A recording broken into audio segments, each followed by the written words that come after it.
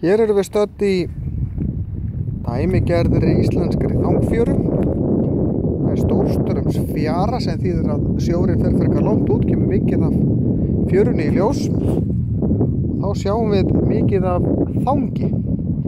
Þang, eða þörungar, þessi brún þörungar sem við finnum í fjörunum skiptast í þang og þara. Það sem þið sjáuð hér er allt saman þang. Þangið er svona marg skipt og þetta er sem sagt, er frumbjarga, þetta er ljóstilífar en þetta er ekki með stífan stöngul eins og plöndur því að það eru svona bólur á þessu. Loft, loftbólur sem þið sjáum hérna. Það er fátum þess að fljóta þegar sjórin kemur þá rýsir þetta svona upp. Þangið sem þið sjáuð hér er það þang sem er algengast að finna í íslenskum fjörum og heitir klóþang. Það er nokkuð algengt að finna bóluþang líka, við skulum aðtóa hvort við finnum ekki bóluþang hérna.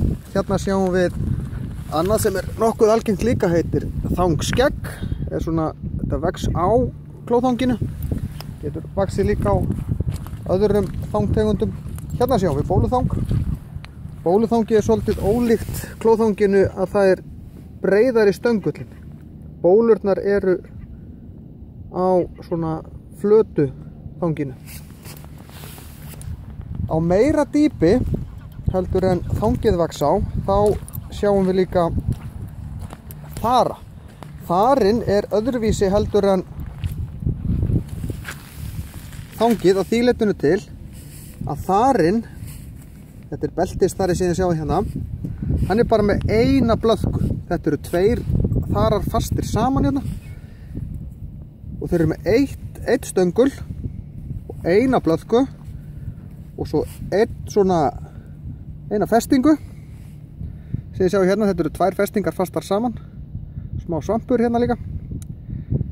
En þessi haus heitir þöngulhaus.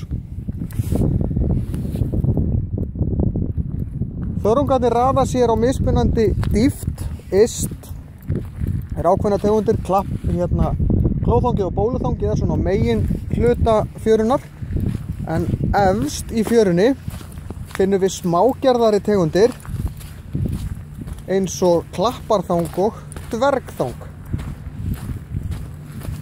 Hérna sjáum við dvergþang, það er miklu, miklu smágerðara. En svona raða mismunandi þangtegundur sér í fjöruna eftir dýpi.